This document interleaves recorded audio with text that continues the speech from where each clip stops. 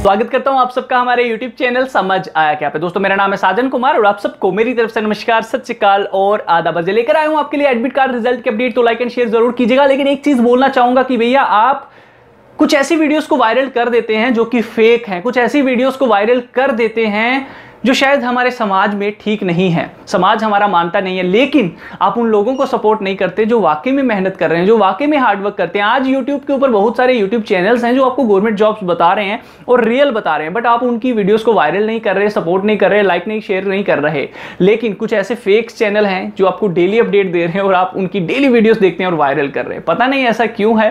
चलिए, ये तो चलता रहता है। भाई, ये वीडियो अच्छा लगे तो लाइक एंड शेयर कर दीजिएगा। मैं यहाँ पे सिर्फ़ अपनी बात नहीं कर रहा हूँ। बहुत सारे मैंने चैनल्स देखे हैं यार जो मेहनत कर रहे हैं, उनको सपोर्ट नहीं मिल रही। तो प्लीज़ सपोर्ट करें सबको। ये आपके हाथ में है, ये आप, हमारा कॉन्फिडेंस जो लेवल होता है ना, आप बढ़ाते हैं, आप हमारी शक्ति हैं। तो सबसे पहले बताना चाहूँगा UPSC I S F I F S का, जो प्रीमिनरी एग्जामिनेशन के लिए आपने एक सवाल किए थे कि भैया इसका एडमिट कार्ड कब आ सकता है? तो आपको बता दूँ, मई में आपका एडमिट कार्ड आने के यहाँ पे पूरे चांसेस हैं। अगला अपडेट यहाँ पे बीएससी नर्सिंग की तरफ़ से है कि इंडियन आर्मी का एक एग्ज़ाम हुआ था तेरह जनवरी 2019 को बीएससी नर्सिंग का। उसका रिज़ल्ट आ गया है तो ज़रूर चेक कर लीजिए। अगला है national institute of open schooling का डीआईडी का थर्ड एग्ज़ाम जो वेस्ट बंगाल का हुआ था, उसका रिज़ल्ट आ चुका है तो वो भी आप ज़रूर चेक कर लीजिएगा। ए यूडीसी एग्ज़ाम भैया कैंसिल हो गया तो इस चीज़ का थोड़ा सा ध्यान रखिए। एमपीएससी एडमिट कार्ड सिविल जज जूनियर डिवीज़न के आ चुके हैं तो डाउनलोड कर लीजिएगा। अगले मैंने दो सवाल लिए हैं, यहाँ पे यूपीएससी एनडीए का एग्ज़ाम जो आप पूछ रहे थे एडमिट कार्ड कब आ सकता है? तो अगले हफ़्ते, यानी कि अप्रैल में फ़र्स्ट वीक में ही आपका एडमिट कार्ड आ सकता है। यूनियन बैंक के लिए भी स्पेशल कार्डरा के लिए कुछ लोगों ने सवाल किया था एडमिट कार्ड आप कब आएगा? तो एंडिंग अप्रैल में इसका जो एडमिट कार्ड है, वो आ सकता है। Allahabad high court UP H G S का फाइनल रिज़ल्ट आया है।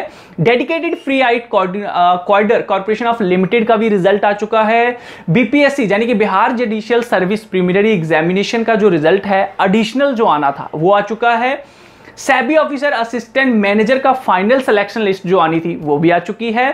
New India insurance corporation limited का फ़ेज़ सेकंड का जर्नलिस्ट एंड स्पेशलिस्ट दोनों की आ चुके हैं मार्क्स तो ज़रूर चेक कर लीजिएगा।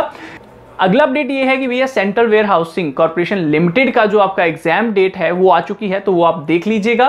लास्ट अपडेट है Tripura board joint entrance examination something का, कि इसका एडमिट कार्ड आ चुका है। तो यही है आज की अपडेट सारे लिंक वीडियो के डिस्क्रिप्शन में। आप विज़िट करिए हमारी ऑफिशियल वेबसाइट समझ आएगा डॉट इन के ऊपर लेटेस्ट गवर्नमेंट जॉब और इन सब के अपडेट लेने के लिए। इसी के साथ बता दूँ एसएससी रेलवे दोनों में काफ़ी सारी वैकेंसियाँ आई हुई है नियर अराउंड डेढ़ लाख। तो आप लोग ज़रूर अप्लाई कीजिए टेंथ और ट्वेल्थ दोनों ही अप्लाई कर सकते हैं। एनटीपीसी का भी अभी फॉर्म चल रहा है तो ज़रूर अप्लाई कीजिए अगर आपने अभी तक अप्लाई नहीं किया। मिलता हूँ आपके साथ अगली वीडियो में। मेरे इंस्टाग्राम फेसबुक सबके लिंक दिए हैं वीडियो के डिस्क्रिप्शन में। हो सके तो सपोर्ट बाई को भी कर दीजिएगा। मिलता हूँ आपके साथ अगली वीडियो में। तब तक के लिए अपना ख्याल रखिए। समझ आया क्या?